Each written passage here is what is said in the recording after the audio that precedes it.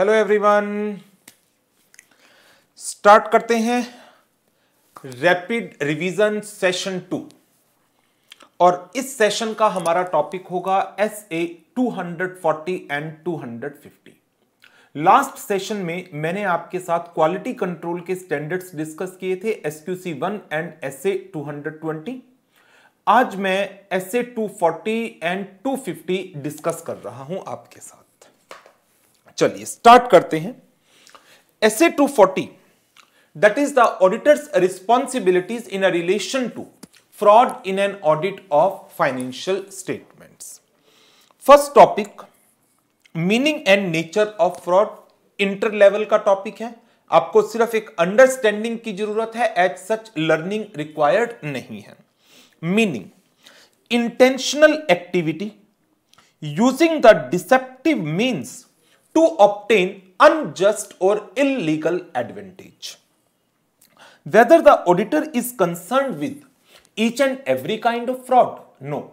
Auditor is primarily concerned with those fraud that may cause material misstatements in the financial statements. In relation to that, auditor is primarily concerned with the fraud that may be due to fraud financial reporting or those fraud that result in misappropriation of assets. So, misstatement in the financial statements may arise due to fraud financial reporting or due to the misappropriation of assets. Now, what are the examples of fraud financial reporting? What are the different ways through the financial reports can be made fraudulent or various ways through which the assets can be misappropriated. So, financial reports को किस तरीके से fraudulent बनाया जा सकता है उसके कुछ एग्जाम्पल्स ये क्वेश्चन एग्ज़ाम में पूछा जा सकता है इसकी आपको लर्निंग करनी है recording fictitious journal entries so as to manipulate the operating results, inappropriate assumptions, changing judgments to estimate the account balances, omitting, advancing, or delaying the recognition of events and transactions occurred during the year,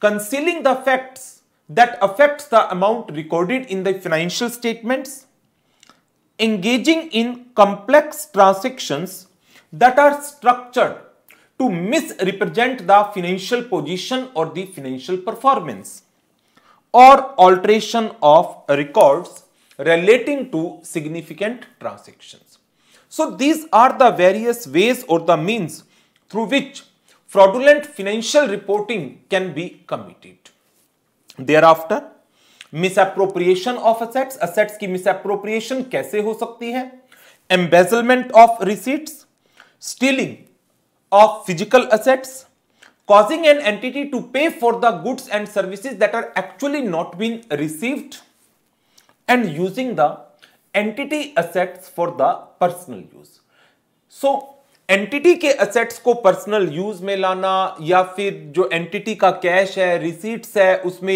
embezzlement करना entity के physical assets की चोरी कर लेना और ऐसे goods and services के लिए पेमेंट करना जो एक्चुअल में एंटिटी ने कभी रिसीव्ड ही नहीं की। सो so, ये सारे एग्जाम्पल्स हैं in a relation to misappropriation of the assets now इसी के रिलेशन में एक टॉपिक आता है that is fraud risk factors कौन से ऐसे फैक्टर्स हैं जो एक पर्सन को फ्रॉड कमिट करने के लिए मजबूर करते हैं? कौन से ऐसे सरकमस्टांसिस सिचुएशन एक ऑर्गेनाइजेशन में एग्जिस्ट करती है, जहाँ से ऑडिटर इस चीज़ को असेस कर सकता है? Yes risk of fraud exist in this entity उसके अंदर तीन पर्टिकुलर केसेस हैं। First one that is incentive और pressure to commit the fraud fraud को करने के लिए कोई प्रेशर है कोई टारगेट्स अचीव करने थे बट वो टारगेट्स अचीव नहीं हो पा रही या हमारी अपनी कोई पर्सनल फाइनेंशियल ऑब्लिगेशन है जिसको पूरा करने के लिए हम ऑर्गेनाइजेशन में मिस कर रहे हैं? सो so, पहला फ्रॉड रिस्क फैक्टर जो एग्जिस्ट करता है in an entity that is any pressure over the management governing body और the employees as a result of which these person commit frauds. Second one perceive opportunity when the person management governing body और other person in the organisation they have the opportunity to commit the fraud particularly when there is inappropriate segregation of duties एक particular activity को करने के लिए beginning to end तक की सारी की सारी रिस्पॉन्सिबिलिटी एक इंडिविजुअल पर्सन को दी जाए। So that person is in a position to commit the fraud उसके पास अपॉर्चुनिटी है फ्रॉड को करने की। Rationalisation to do so that means एक पर्सन का अपना एटीट्यूड अपना माइंडसेट जहाँ पर वो ऑर्गेनाइजेशन के ऑब्जेक्टिव्स के ऊपर अपने ऑब्जेक्टिव्स को प्रायोरिटी देता है और हर एक चीज़ में मुझे क्या बेनिफिट होगा, उस चीज़ को सोच करके चलता है। सो फ्रॉड रिस्क फैक्टर्स तीन कैटेगरीज में हम डिवाइड कर सकते हैं।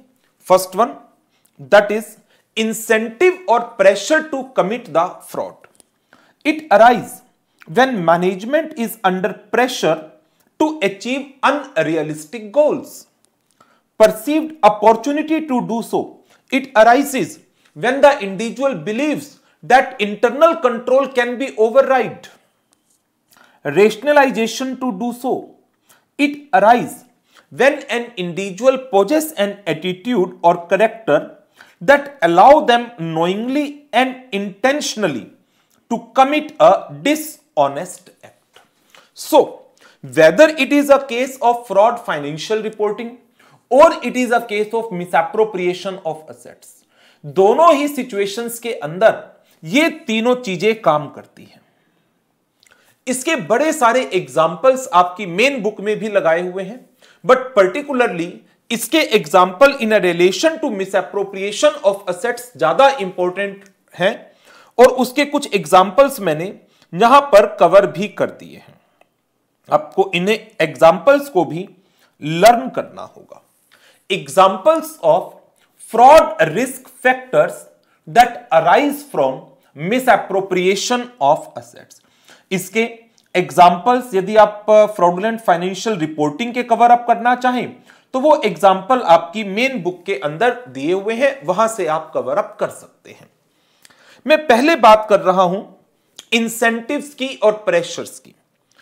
Personal financial obligations it may create pressures on the management और employees with access to the cash और other asset acceptable to theft to misappropriate the assets तो management के ऊपर एम्प्लॉयज़ के ऊपर एम्प्लॉयज़ कौन से?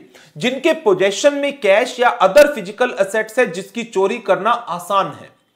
सो so, यदि इन पर्सन के ऊपर कोई फाइनेंशियल ऑब्लिगेशन आ जाती है तो under pressure they can misappropriate the assets इसके अलावा adverse relationship between the entity and such employees may also motivate those employees to misappropriate the assets so दो मेन चीज़ें हैं.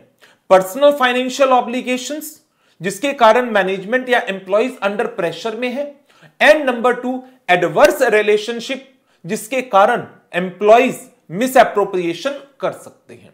अब वो एडवर्स रिलेशन किन कारणों से अराइज हो सकती है? May be due to known और anticipated future employee lay off employee is aware कि मुझे हटाया जा रहा है या मुझे हटाया जाएगा।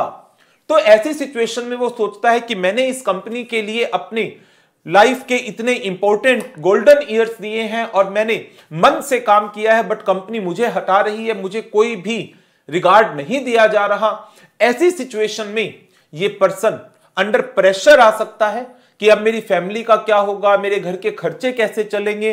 तो that person might commit misappropriation of assets recent और anticipated changes to employee compensation और बेनिफिट प्लान एम्प्लॉय को हटाया नहीं जा रहा बट उसके बेनिफिट को उसके सैलरी स्ट्रक्चर को चेंज किया जा रहा है उसको रिड्यूस किया जा रहा है सैलरी को या कुछ जो ऑफिशियल बेनिफिट्स या परकुजिट्स अलाउंसेस अवेलेबल कराए जाते थे उनको कम किया जा रहा है या हटाया जा रहा है इसके कारण एडवर्स रिलेशनशिप में arise in between the entity and the the as a result result, में commit miss misappropriation of assets.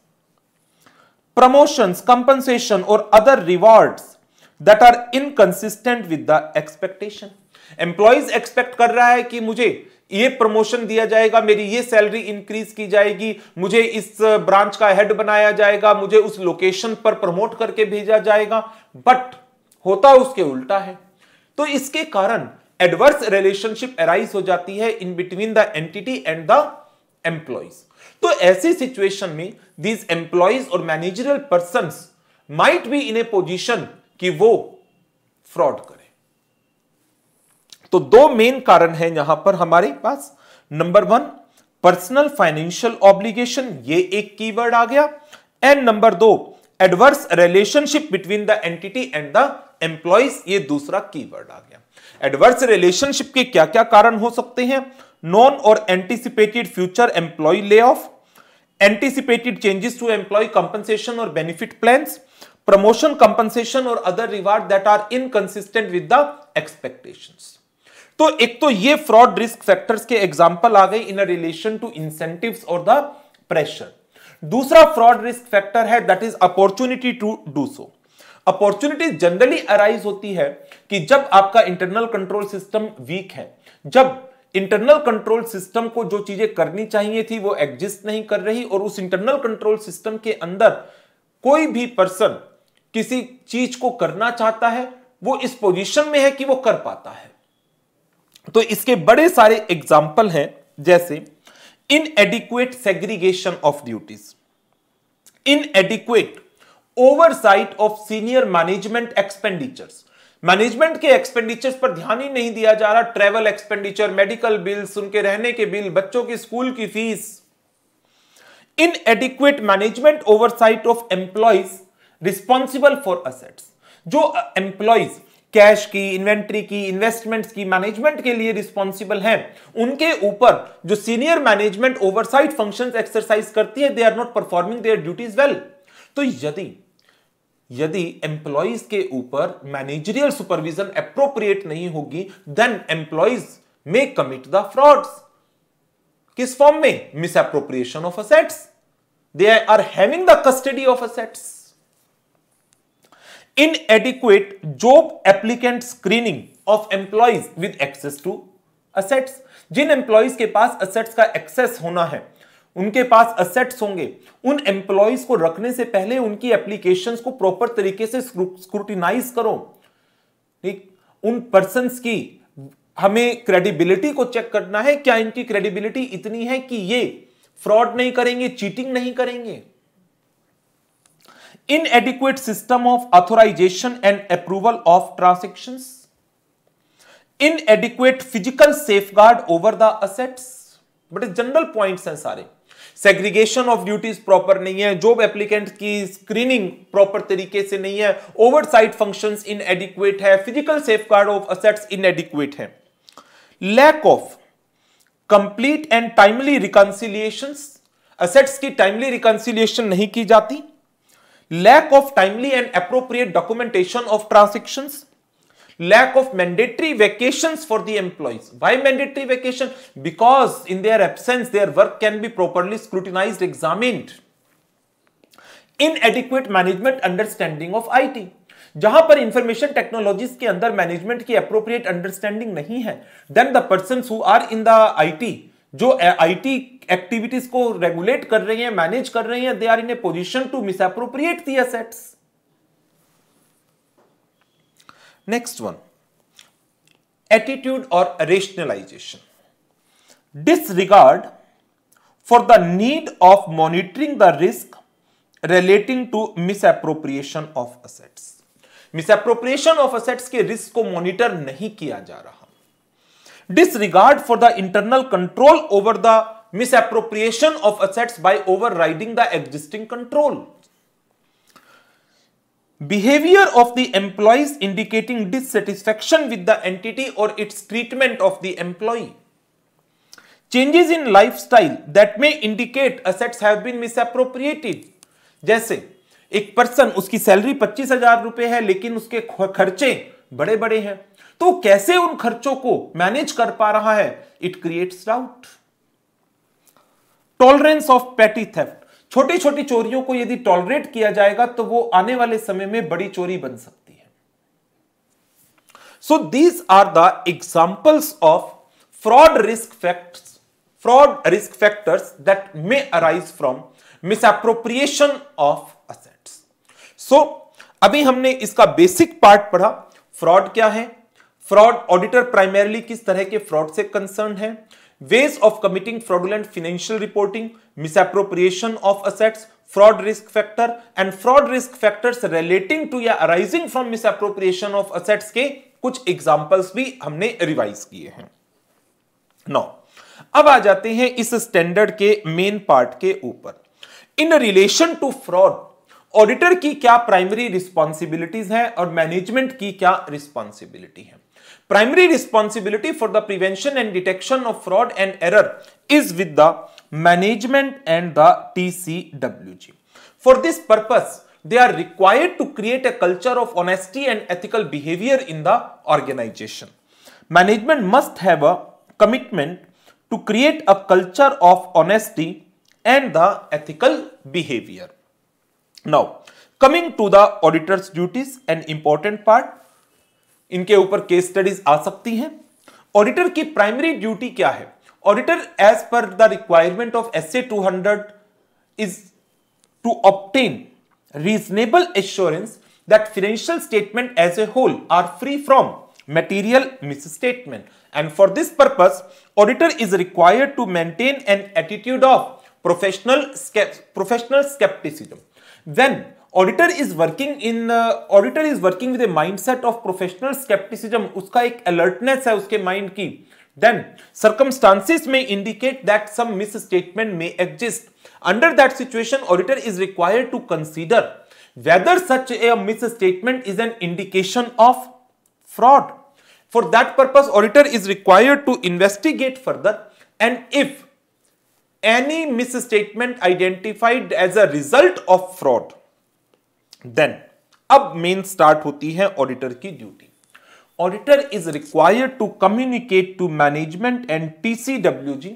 and also to regulatory and enforcement authorities if required by law for this purpose आपको section 143 subsection 12 का भी ध्यान रखना है and reporting under para number three clause 11 कारों की reporting का भी ध्यान रखना है. Auditor based upon the circumstances जो उसको फ्रॉड आइडेंटिफाई हुए हैं he is of the opinion that I am not been able to continue with this engagement due to multiple uncertainties involve या related with this fraud under that situation auditor need to consider the possibility to withdraw and if auditor withdraw he is required to discuss it with the management and T C W G and report to the appropriate person in relation to that जब कल हमने last session के अंदर SQC one पढ़ा था तो उसके अंदर हमने एक पॉलिसी भी पढ़ी थी क्वालिटी कंट्रोल की that is in relation to withdrawal from the engagement तो यदि इन केस ऑडिटर किसी भी एंगेजमेंट से विड्रॉ करता है इन दैट केस जो quality control policies and procedure है in relation to withdrawal that needs to be follow तो वो सब बातें जो एसक्यूसी वन में पढ़ी थी in relation to quality control engagement जो quality control policies and procedures with respect to withdrawal from engagement उन सबको भी हमें यहाँ पर अप्लाई करना पड़ेगा। सो so, ये तो हो गए हमारे generalised procedures in relation to fraud and error in an audit of financial statement and primarily the fraud now अब जो आगे हमारी डिस्कशन आ जाती है वो है फ्रॉड के रिलेशन में risk assessment procedure and its responses जब हम बात करते हैं रिस्क असेसमेंट प्रोसीजर्स की in relation to risk assessment procedure auditor is required to conduct the inquiry of the management inquiry of TCW G inquiry of other person based upon the inquiry auditor is required to assess whether risk exist and if risk of material misstatement due to fraud exist then how much it is and based upon that auditor is required to design its further responses. तो जो हमारा S A three hundred to four hundred four ninety nine की series के अंदर provisions आ जाते हैं कि auditor is required to perform RAP based upon the risk assessed उसको आगे के अपने फर्दर रिस्पॉन्सेस डिज़ाइन करने हैं एंड परफॉर्म करने हैं तो एस ए टू फोर्टी के अंदर इन रिलेशन टू दैट अब हमें बात करनी है रिस्क असेसमेंट प्रोसीजर्स की and responses to assess risk की। बात करते हैं रिस्क असेसमेंट प्रोसीजर की। रिस्क असेसमेंट प्रोसीजर में auditor is required to inquire the management and the others within the entity तो इसमें ऑडिटर को करना क्या है? Auditor shall inquire the management as to assessment of risk of of misstatement due to fraud what is the process that is being followed by management and the governing body to identify and respond to risk of fraud including any specific risk of fraud communicate communication if any जो management ने की है किसको TCWG को। यदि management के सामने किसी भी तरह का कोई फ्रॉड सामने आया था या कोई इरेगुलरिटीज सामने आई थी जो उन्होंने गवर्निंग बॉडी को बताई है, पूछिए मैनेजमेंट से। कम्युनिकेशन जो मैनेजमेंट ने की है to the employ regarding the management view on the business practice and the ethical behaviour so as a auditor we need to inquire the management and other persons within the entity how the management is assessing the risk of material misstatement what is the process for identifying and responding to risk of fraud what are the communications that are being made that are being done with the management communication with the employees as to the ethical practices accounting practices etc now अब इसमें एक और छोटा सा topic आ जाता है ये एक बार शायद से कभी एग्ज़ाम में भी आया हुआ है। ये टॉपिक लर्न करना है आपने। Appropriateness of making inquiries of management management is the person who is primarily responsible for the entity internal control and the preparation of the financial statement and hence it is appropriate for the auditor to make the inquiries of management regarding how management assess the risk of fraud? What are the controls that are being exercised by the management to prevent and detect the fraud? Nature, extent, frequency of management assessment of such risk and control, it vary from organization to organization.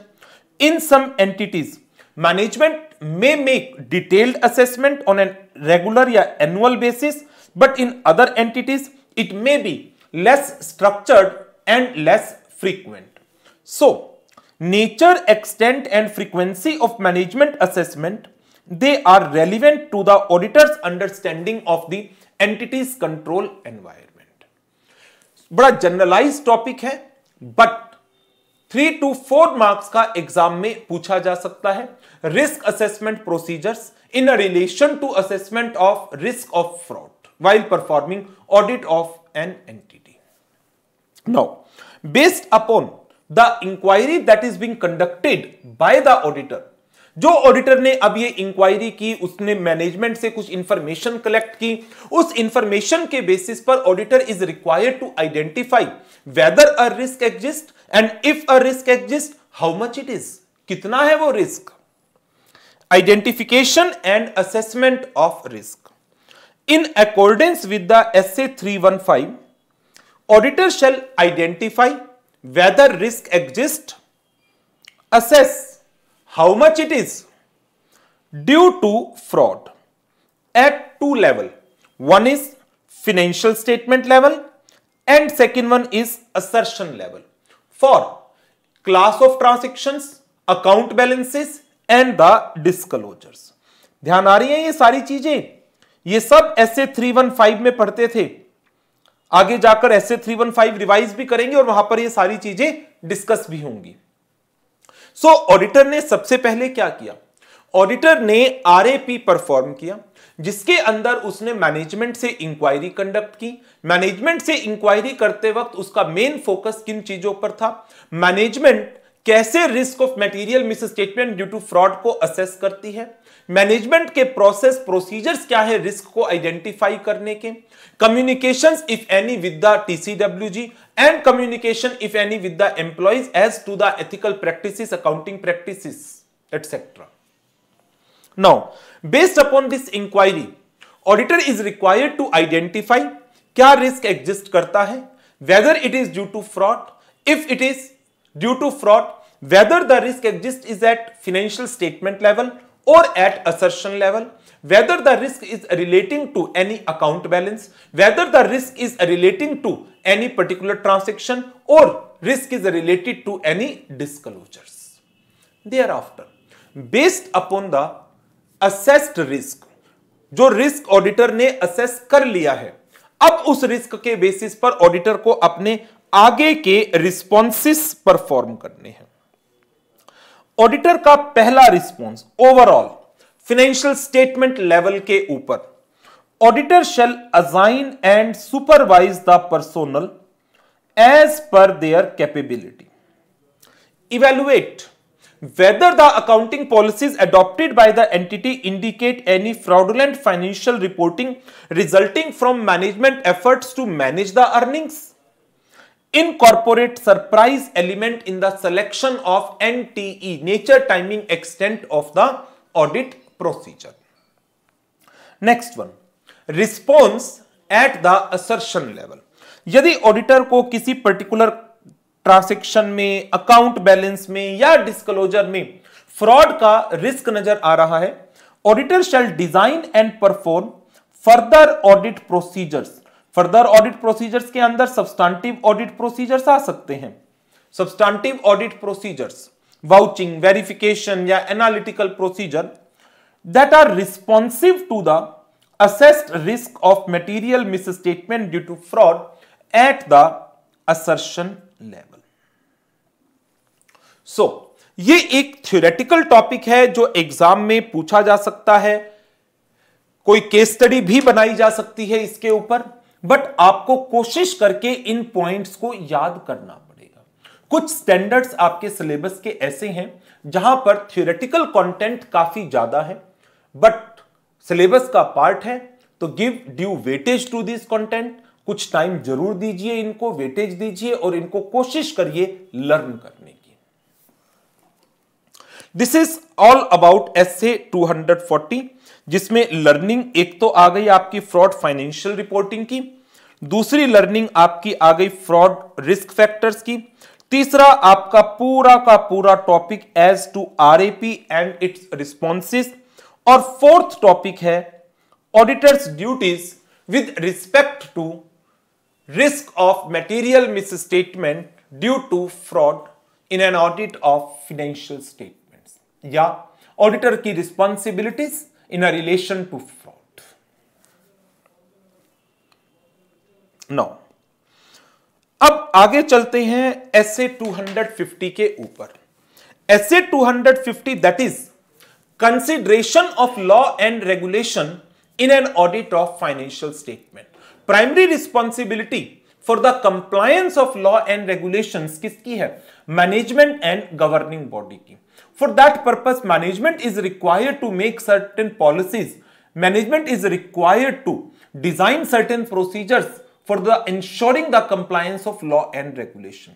तो सबसे पहले तो हमें उस एक topic को पढ़ना है मैनेजमेंट किस तरीके से लॉ एंड रेगुलेशंस की कंप्लायंस को इंश्योर करने के लिए स्टेप्स ले सकती है देयर आफ्टर ऑडिटर्स की duties and responsibilities in relation to compliance and law compliance of law and regulation for that purpose इस स्टैंडर्ड ने सारे लॉ एंड रेगुलेशंस को दो कैटेगरीज में डिवाइड किया है। कैटेगरी नंबर वन वो लॉ एंड रेगुलेशन जो एंटिटी के ऊपर अप्लाई होते हैं एंड डायरेक्टली अफेक्ट करते हैं फाइनेंशियल स्टेटमेंट्स को। सेकंड वो लॉ जो फाइनेंशियल स्टेटमेंट को डायरेक्टली अफेक्ट नहीं करते but they are fundamental to the business operations of the entity तो दो कैटेगरीज में हमने सारे लॉ को डिवाइड किया है and based upon that auditor is required to perform the procedure जो लॉ फाइनेंशियल स्टेटमेंट्स को डायरेक्टली अफेक्ट करते हैं इन रिलेशन टू दो auditor is required to perform detailed audit procedure so as to collect sufficient appropriate audit evidences as to their compliance but in relation to other laws auditor is not required to perform the detailed procedure rather he is required to perform limited procedure और वहाँ पर उसका objective ये नहीं है कि उसको compliance को इंश्योर करना है लिमिटेड प्रोसीजर्स को परफॉर्म करके वो उस चीज़ को आइडेंटिफाई करना चाह रहा है, क्या based upon the limited procedures performed by the auditor क्या कोई नॉन कंप्लायंस का इंस्टांस उसके सामने आया क्या यदि कोई नॉन कंप्लायंस का इंस्टांस उसके सामने नहीं आया दैट्स ओके okay. यहाँ पर वो एविडेंस कलेक्ट नहीं कर रहा कि क्या लॉ रेगुलेशन कंप्लाई हुए या नहीं हुए because these law do not directly affect the financial statements they are the secondary laws and if any non-compliance is identified by the auditor what will be the auditor's procedure and what are the reporting requirement और फिर एक theoretical topic और आएगा that is what are the indicators जिससे auditor को लगता है कि लॉ एंड रेगुलेशन की नॉन कंप्लायंस के चांसेस हैं इस ऑर्गेनाइजेशन में? तो इस स्टैंडर्ड के अंदर, दो तो आपके थियोरेटिकल टॉपिक हैं जिन पर चार से पाँच नंबर का क्वेश्चन आ सकता है। पहला क्वेश्चन बनेगा, वो स्टेप्स प्रोसीजर्स एक्टिविटीज़ बताइए, जिनके through management law and regulation को कंप्लाई करने के लिए मैनेजमेंट लॉ एंड रेगुलेशन की कंप्लायंस के लिए काम करती है। और दूसरा, कौन से ऐसे इंडिकेटर्स हैं जिनके बेसिस के ऊपर auditor might identify that instances of non compliance may be there तो पहले तो मैं उन्हीं दोनों थ्योरेटिकल टॉपिक को आपके साथ डिस्कस कर रहा हूँ।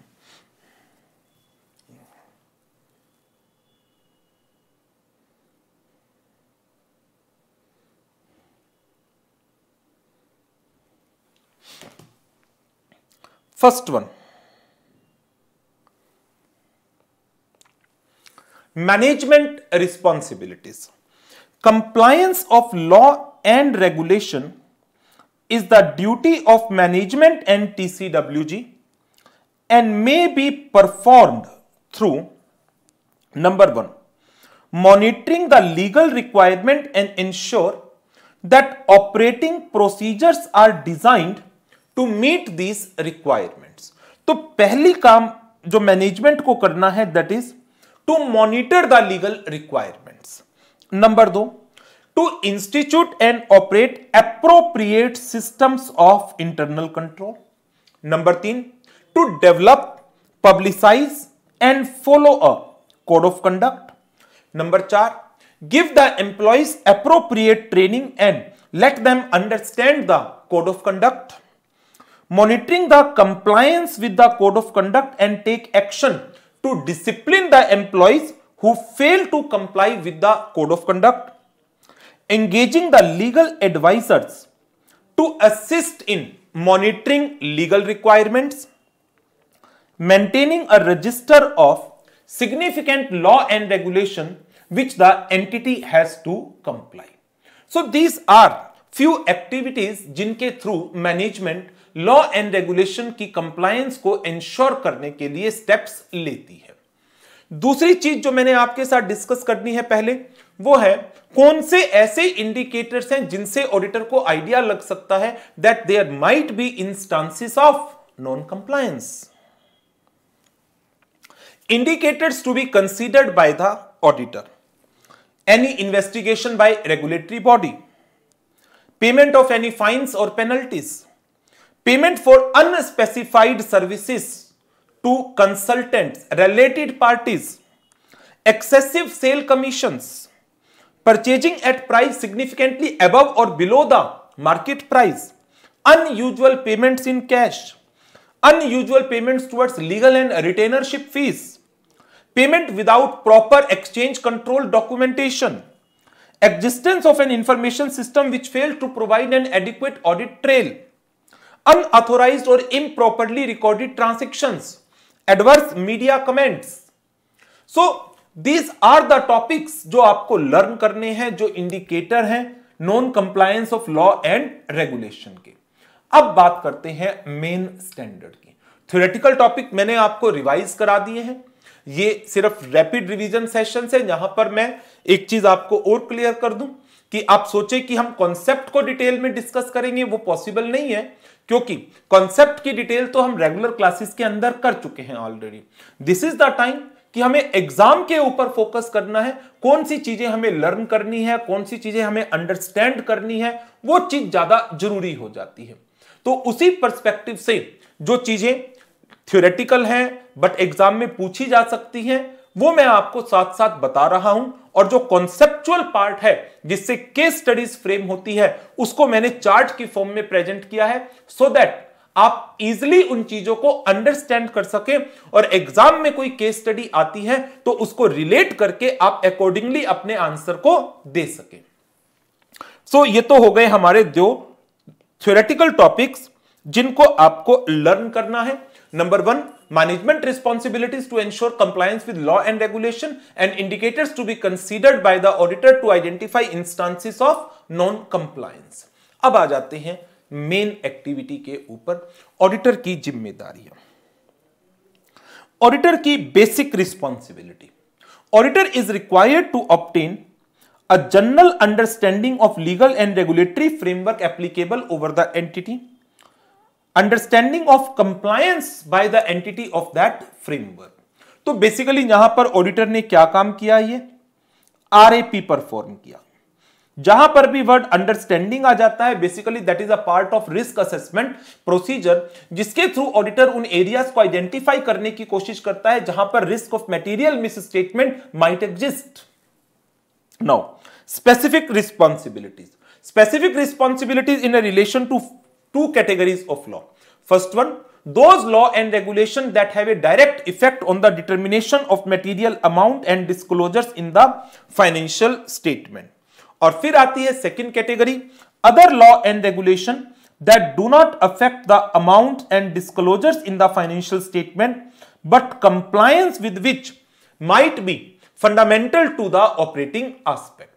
तो पहली कैटेगरी की बात करते हैं जो डायरेक्टली अफेक्ट करते हैं फाइनेंशियल स्टेटमेंट को in relation to this law auditor is required to perform detailed audit procedure so as to obtain sufficient and appropriate audit evidences to ensure compliance of such law and regulation but in relation to other law that do not have the direct effect on the determination of material amount and disclosure in the financial statement but that are fundamental to operating aspects in a relation to those laws auditor को क्या करना है?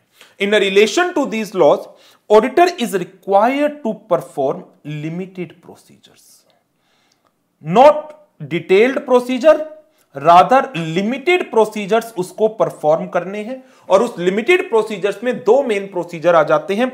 One is to inquire the management and number two to inspect the correspondence with the regulatory authority licensing authority with the government department etcetera based upon that auditor is required to identify whether any non compliance is there non compliance नहीं है it's okay assume कर लो compliance हुआ होगा assume evidence नहीं है आपके पास compliance के भी.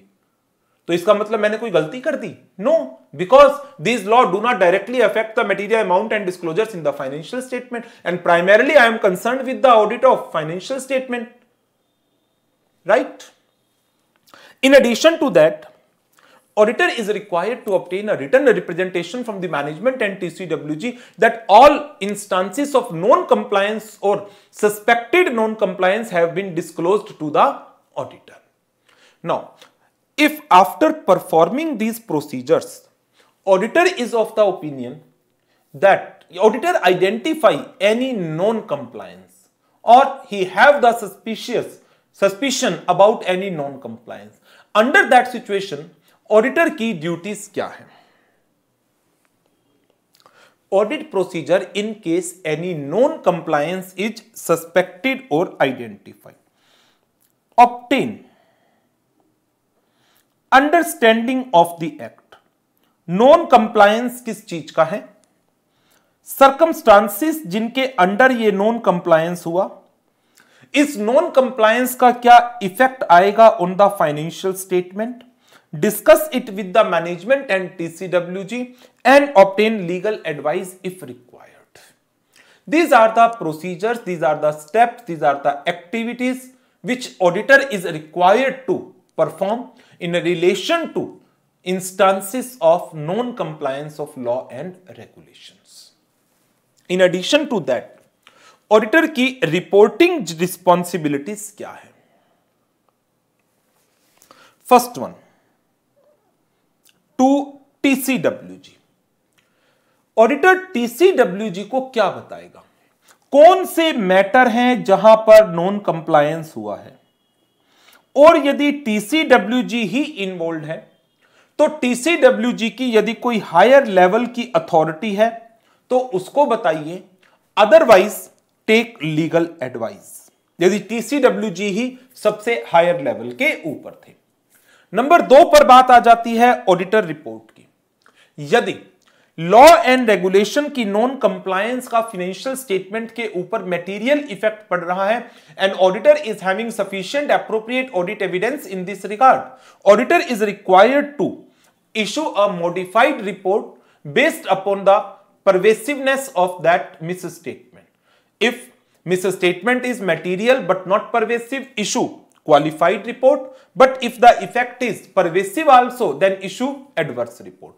But if auditor is not been able to conclude the effect of non-compliance on the financial statement because of the limitations imposed by management management ने limitations impose कर दी issue qualified या disclaimer based upon the pervasiveness of the information that has not been provided to him. But if the limitation is not imposed by the management, rather the limitation is imposed by the circumstances, consider the effect on the audit report जो उसको करना चाहिए। क्या करे वो ऐसी situation के अंदर?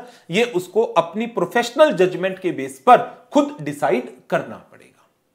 फिर बात आ जाती है whether auditor is required to inform the non compliance of law and regulation to regulatory and enforcement authorities if it is required by law if it is required by law यदि law में required है कि कोई भी non compliance law and regulation का आपको मिलता है being a statutory auditor it is your responsibility to communicate it to the authorities तो आपको कम्युनिकेट करना है। अदरवाइज़ कॉन्फिडेंशियलिटी का प्रिंसिपल हमारे साथ अप्लाई होता है and we have the privilege as a auditor we have the privilege कि हम अपनी क्लाइंट्स की इंफॉर्मेशन किसी के साथ एज सच शेयर नहीं करेंगे। So this is about S A two hundred fifty और आज आपको इस सेशन के बाद टाइम लगाना है, समय लगाना है किन चीज़ों के ऊपर? फोर्टी टू फिफ्टी के थियोरेटिकल कंटेंट को लर्न करने पर और इनकी केस स्टडीज़ की प्रैक्टिस करने पर। इनके थियोरेटिकल कंटेंट को लर्न करके कोशिश करिएगा, एक दो क्वेश्चन को लिख पाए तो वेल एंड गुड और जो इनकी केस स्टडीज़ हैं टू फोर्टी की and S A two fifty की, उसमें से किसी एक केस स्टडीज़ को यदि लिख कर प्रैक्टिस करें तो ज़्यादा अच्छा होगा।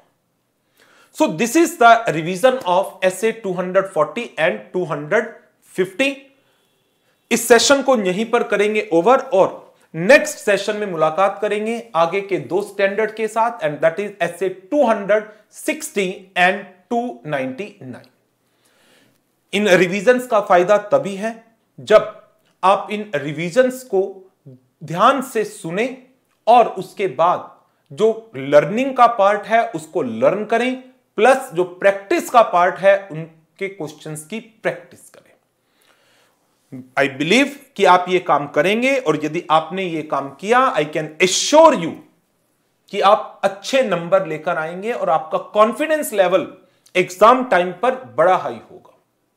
Most of the time exam time पर ही स्टूडेंट्स नर्वस फील करते हैं और वो समझ नहीं पाते कि हम जो पढ़ रहे हैं, हमें याद हुआ, नहीं हुआ, क्या याद करना है, क्या नहीं करना। आई एम ट्राइंग कि मैं आपको my level best material available करा सकूँ सो दैट आपको उससे आइडिया लगे कि हाँ ये चीज़ें मुझे लर्न करनी है, इन चीज़ों की मुझे प्रॉपर अंडरस्टैंडिंग लेनी है। यहाँ से थियोरेटिकल क्वेश्चन बन सकता है, यहाँ से केस स्टडीज़ बन सकती है। लेकिन लर्निंग तो आपको ही करनी है। We can guide you as a teacher but उसके बाद लर्निंग, उसकी रिटर्न प्रैक्टिस, ये आपका काम है और मुझे उम्मीद है कि आप इसको ज़रूर करेंगे। सो विद दिस इस सेशन को यहीं पर ओवर करते हैं। Thank you very much and goodbye